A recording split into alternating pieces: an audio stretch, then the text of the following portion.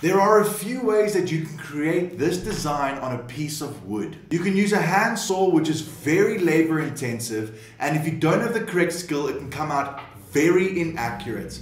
Or you can use a CNC machine. CNC stands for Computer Numerical Control. This is a machine that takes pre-programmed computer software that dictates the movements of the CNC machine. A computer is used to control, automate, and monitor the movements of the machine. In this case, our Kromcraft machine is a CNC machine that uses a router to carve away material.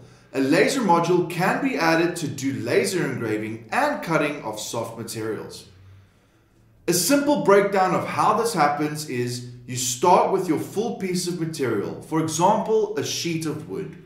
While being controlled by your computer software, the spindle will begin to carve out the desired shape by moving downwards in small steps, cutting away material.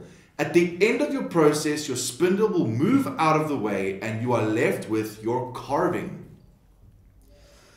This is called subtractive manufacturing because you are removing material to create the desired shape or object. Our Kromcraft CNC machine is one of the leading machines for hobbyists with a variety of options. We have three sizes, a small, a medium and a large machine with a cutting area of 400 millimeters wide for all three options. The small has a cutting length of 250 millimeters, the medium has a cutting length of 630 millimeters, and the large has a cutting length of 1 meter.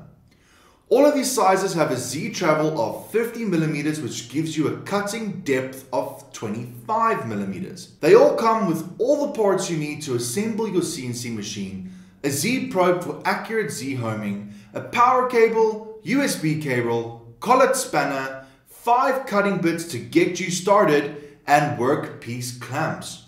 All that you need is a computer with internet connection and tools for assembly. You can also get a laser upgrade kit with these options over here. We have a 0.5 watt, a 2.5 watt, a 5.5 watt, or a 15 watt laser.